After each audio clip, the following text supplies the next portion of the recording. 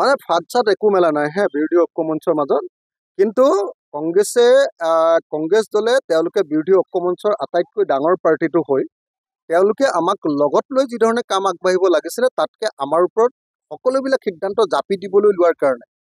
আৰু নিজৰ ইচ্ছামতে নিজেই এটা কথা নিজে বনাই লৈ আৰু নিজে সিদ্ধান্ত জাপি দিয়াৰ কাৰণে আচলতে আমাৰ মাজত এটা ভুল বুজাবুজি হৈছে। বেলেগ একো হোৱা নাই। আমাৰ মাজত কোনো ফাট চাট মেলা নাই বিৰোধী ঐক্যমঞ্চৰ মাজত ফাট মেলা নাই। আমি সকলোৱে বুজি পাওঁ যে দুহেজাৰ ছাব্বিছ চনত যদি বিজেপিক বিদায় দিব লাগে অসমৰ মানুহক যদি বিজেপিৰ অপশাসনৰ পৰা মুক্ত কৰিব লাগে অসমৰ মানুহক যদি বিজেপিৰ এই বস্তুৰ মূল্য বৃদ্ধিৰ ব্যৱস্থাৰ পৰা আঁতৰাই আনিব লাগে অসমৰ প্ৰত্যেকখন মানে অট অটো ৰিক্সাৰ ওপৰত মানে আপোনাৰ কৰ নতুন নতুন যি ধৰণৰ কৰ কাটলৰ ব্যৱস্থা হিন্দু মুছলমানৰ ৰাজনীতি সাম্প্ৰদায়িক ৰাজনীতি অসমৰ মানুহ উশাহ ল'ব নোৱাৰা যিটো অগণতান্ত্ৰিক পৰিৱেশ সেই পৰিৱেশটো নাইকিয়া যদি কৰিব লাগে তেতিয়াহ'লে সকলোৱে জানে যে বিৰোধী ঐক্যমঞ্চই ঐক্যবদ্ধ হৈ থাকি আমি ইলেকশ্যনটো খেলিব লাগে। আৰু সকলোৱে আমি ভাবি আছিলো আমাৰ ৰাইজৰ দলে ভাবি আছিলো যে আমি সকলোৱে মিলি এইবাৰ আমি দুহেজাৰ চৌবিছ চনৰ যিটো উপ নিৰ্বাচন হ'ব এইটো আমি কংগ্ৰেছকে সমৰ্থন কৰিম।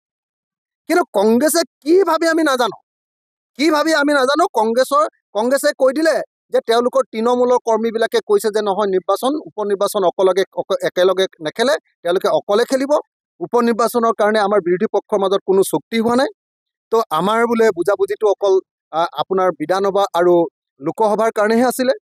অ তাৰমানে আমাৰ এনেকুৱা নেকি যে লোকসভাত তোমালোকে অকলে জিকিব নোৱাৰা গতিকে আমাৰ সহায় লাগে। বিধানসভাত তোমালোকে অকলে জিকিব নোৱাৰিব তাৰ কাৰণে আমাক সহায় লাগে আমাক খটুৱাবা। আৰু যি সময়ত তোমালোকৰ চৰকাৰ গঠনৰ কথা নাথাকিব সেই সময়ত আমাক লাট মাৰি দিবা। এইটোতো হ'ব নোৱাৰে। এইটো নীতিটো কেতিয়াও হ'ব নোৱাৰে। আজি আপোনাৰ ভূপেন বৰা ডাঙৰীয়াই যিটো কৈছে যে আই ডোণ্ট কেয়াৰ তাৰমানে তেওঁ বিৰোধী পক্ষক কেয়াৰ নকৰে বোলে। তেওঁ ঐক্যমঞ্চক তেওঁ তেওঁ বন্ধুসকলক কেয়াৰ নকৰে। কাক কেয়াৰ কৰে? তেওঁ হিমন্ত বিশ্ব শৰ্মাক কেয়াৰ কৰে নহয় জানো? হা? এইটো ধৰণৰ নীতি লৈতো কেতিয়াও বিৰোধী পক্ষ এটা শক্তিশালী হ'ব নোৱাৰে। সেইকাৰণে আমাৰ স্পষ্ট কথা যে আমি আমাৰ ৰাইজৰ দলৰ স্থিতি আছিলে যে এইবাৰ আমি কংগ্ৰেছ দলকে সহায় কৰিম। আমি দুহেজাৰ চৌবিছ চনৰ লোকসভা নিৰ্বাচনতো ত্যাগ কৰিছিলোঁ আৰু আমি উপ নিৰ্বাচনতো ত্যাগ কৰিবলৈ প্ৰস্তুত আছিলোঁ। কিন্তু এতিয়া কংগ্ৰেছৰ যিটো দাদাগিৰি দেখা গৈছে কংগ্ৰেছৰ যিটো উপদ্ৰৱ দেখা গৈছে এতিয়াতো আমাৰ কৰ্মীবিলাকে একদম স্পষ্টকৈ কৈ দিছে যে নাই আমাৰ গোটেই আমাৰ যিমানবিলাক উপ নিৰ্বাচন হ'ব উপ নিৰ্বাচনৰ প্ৰত্যেকটো সমষ্টিতে ৰাইজৰ দলৰ কেণ্ডিডেট দিব লাগে। কংগ্ৰেছৰ কাৰণে আমাৰ নিজৰ সংগঠন দুৰ্বল কৰি থাকিব নোৱাৰোঁ। এই বুলি মানে আমাৰ প্ৰত্যেকজন কৰ্মী এতিয়া আমাক হেঁচা দিছে। এতিয়া আমাকতো কৈছে যে বঙাইগাঁৱতো খেলিব লাগিব চিডলিতো খেলিব লাগিব আমাৰ চামগুৰিতো খেলিব লাগিব আমাৰ আপোনাৰ আহ, বিহালীতো খেলিব লাগিব আমাৰ বৰাকতো খেলিব লাগিব। আমাৰতো সেইকাৰণে এতিয়া উপায় নাইকিয়া হৈছে। আমাৰ অহা বাইছ তাৰিখৰ দিনা আমাৰ ৰাইজৰ দলৰ এতিয়া এক্সিকিউটিভ আমি বৰ্ধিত কাৰ্যনিৰ্বাহক হ'বলগীয়া পৰিস্থিতি হৈছে। আমাৰ হুলস্থুলীয়া পৰিৱেশ সৃষ্টি হৈছে আৰু হয়তো এক্সিকিউটিভত এনেকুৱা সিদ্ধান্ত হ'ব পাৰে যে উপ নিৰ্বাচনৰ প্ৰত্যেকটো সমষ্টিতে আমাৰ নিজৰ কেণ্ডিডেট দিম। এইটো কিন্তু আমাৰ ভুলৰ কাৰণে হোৱা নাই দেই আমি নেখেলোঁ বুলি ৰৈ আছিলোঁ।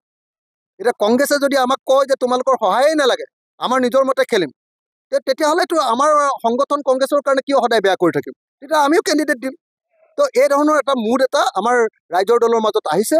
আমি আশা কৰোঁ দুহে দুহেজাৰ দুহেজাৰ চৌব্বিছ চন নহয় দুহেজাৰ চৌব্বিছ চনৰ লোকসভা যেনে যেনেকৈ একেলগে খেলিছিলোঁ তাৰ উপ নিৰ্বাচনো একেলগে খেলোঁ পঞ্চায়ত নিৰ্বাচনো একেলগে খেলোঁ আৰু ছাব্বিছত হিমন্ত বিশ্ব শৰ্মাক বিদায় দিয়াৰ পাছত যদি আমাৰ মাজত কিবা কাজিয়া কৰিব লাগে কৰিম। কিন্তু ছাব্বিছত আমি হিমন্ত বিশ্ব শৰ্মাক বিদায় নিদিয়ালৈকে আমাৰ মাজত কিন্তু ঐক্যবদ্ধভাৱে আগবাঢ়ি যাব লাগে বুলি মই ভাবোঁ।